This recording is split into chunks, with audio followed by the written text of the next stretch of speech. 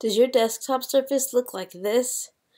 Is it all cluttered with every single project that you've ever worked on? Can you never find anything? Or have you kept everything you've ever found on the internet right here in one space? Would you like to know how to separate all these projects so that you never lose a project again? Well, stay tuned because I'm going to show you how to have multiple desktops for your MacBook right here on this same computer.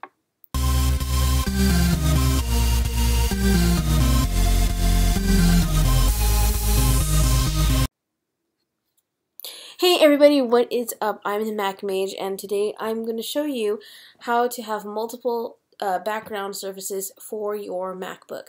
Now, the important thing to know is that what a background is or what a desktop is is it's the same computer but you're just going to have a totally different, totally clean screen to work on a project with so that your projects don't become cluttered. And you should know that this does take away some of the speed at which the Mac can perform if you have a whole lot of windows open. But if you have like two or three, it's really not going to affect you too much. Unless you're running like on a really old MacBook. Um, so let's go ahead and get started.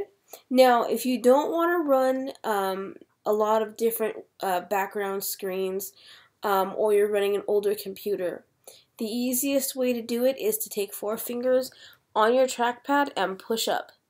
And that is going to separate each and every project that you're doing.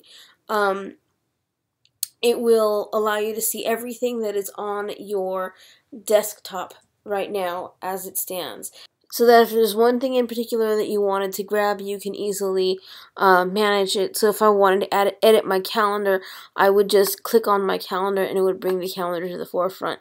If I wanted to, to edit this note right here, I would just click on it and that would be at the forefront.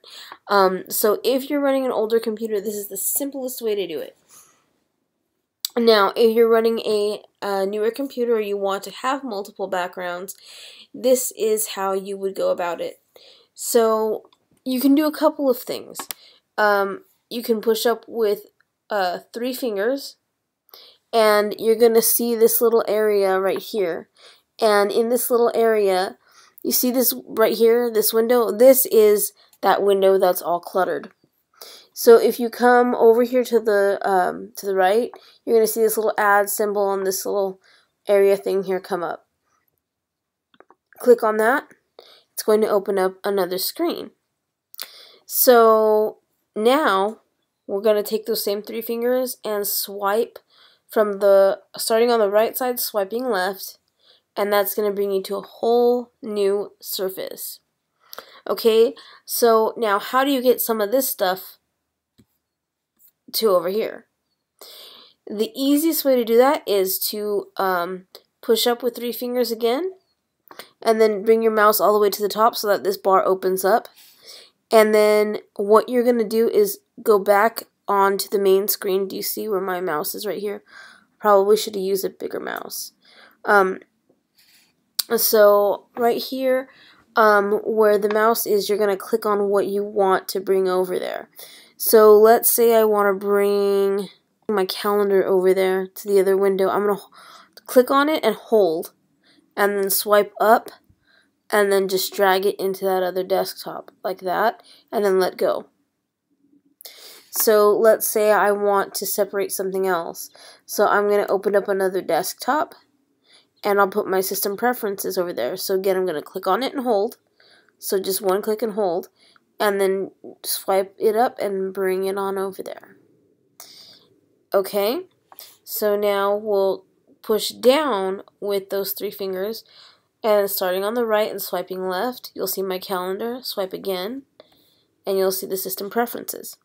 Now, if you want to get rid of um, one of your backgrounds or your desktops that you've got open, all you have to do is find the one you want to get rid of, and then you're going to see an X up here. Just click on that, and then it will close that desktop and bring that but it's going to bring the open program back to your main screen. So in order to get rid of that, you're going to have to come in and manually command Q and quit. If you want to put something um, in uh, the top here without having to click over here. You can simply grab it and drag it and it'll open up its own desktop. So see, there's a couple of different ways to do that.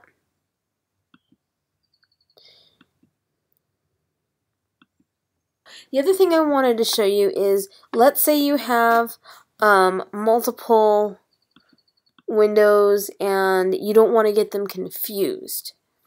What you can do is you can change the backgrounds of each of these so that each project has its own background so you don't get confused.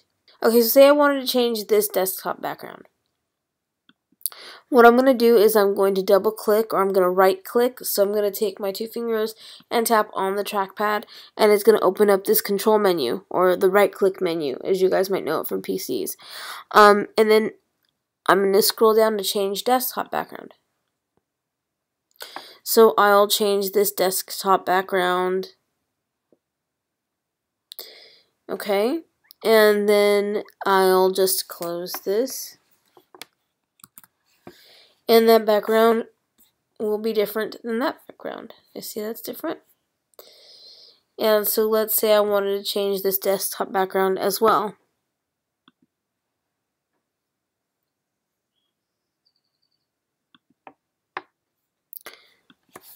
Just get the Q out of there. And now these are completely different. And that's all you have to do. And if, like I said, if at any time you want to get rid of anything, just click on that X and it will disappear.